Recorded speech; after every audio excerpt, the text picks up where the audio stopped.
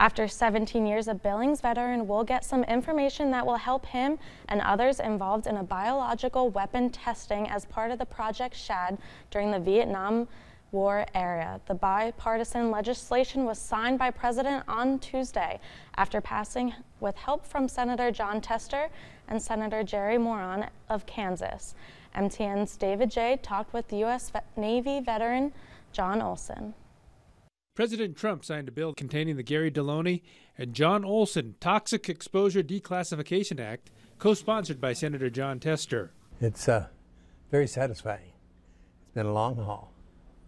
A long haul. John Olson started asking in the year 2000 for records that would help doctors treat him.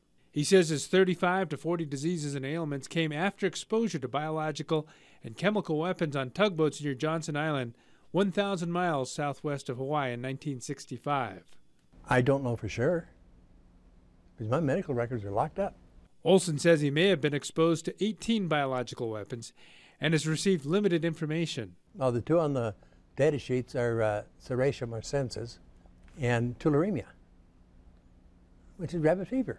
After the tests, they used chemicals to clean up the biological weapons. Beta propiolactone and formaldehyde. We were using it by the gallon.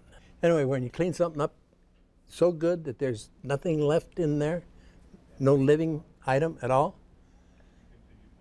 that's where we left it. While doctors can better help him if they know the weapons and chemicals, he understands why they had to keep the information classified. There's been a lot of military secrets we wanted to keep, even those of us who are out there. The details, I don't know.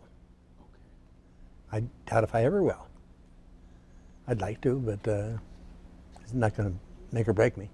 In Billings, David J., MTN News.